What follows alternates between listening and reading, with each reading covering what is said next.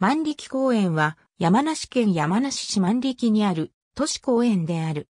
山梨市により維持管理されている。根津公園とも言う。甲府盆地の北東、山梨市を南北に流れる笛吹き川中流域右岸に位置し、標高はおよそ330から350メートル。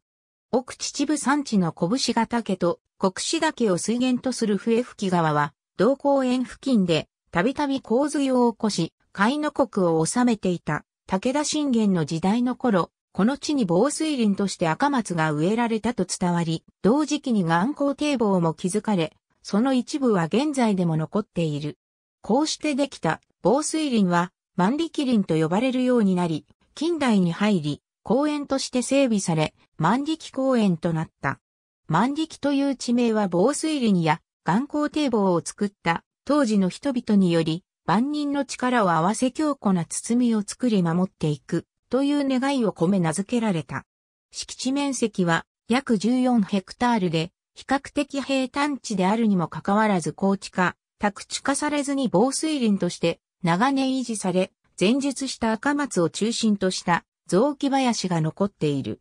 公園敷地は、笛吹川右岸に沿うような細長い形状になっており、公園の北端には、笛吹川の水を引いた人造湖、千鳥湖が設けられ、湖から流れ出す小川が公園内の雑木林を流れる。園内には前述した千鳥湖でボートや釣りが楽しめ、触れ合い動物広場、噴水広場、子供の広場などが設けられ休日を中心に家族連れで賑わう。また、緑豊かな雑木林内に散策路が、春の道、夏の道、秋の道と3コース設けられ森林浴を楽しむこともできる。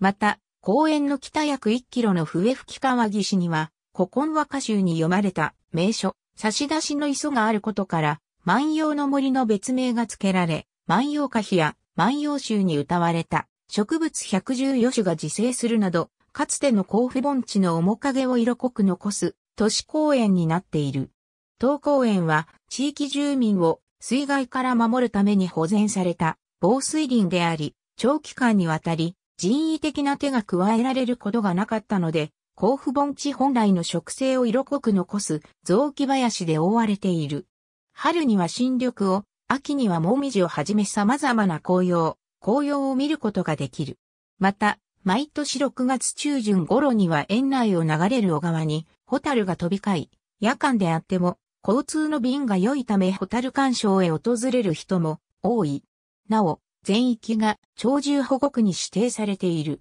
公園は年中無休、入園無料。ただし一部施設については別途利用日時、料金が定められている。約40種類。アライグマ、ベネットワラビー、プレーリードッグ、マーラ、ハリスホーク、フラミンゴ、クジャク、シマリス、ウサギ、サル、シカ、ヤギなど。山梨市都市公園設置及び管理条例交付観光協会、サービス特本昭和12年、山梨県高等学校教育研究会一歴化、公民株改編 TP80 から83、ふれあい動物広場。ありがとうございます。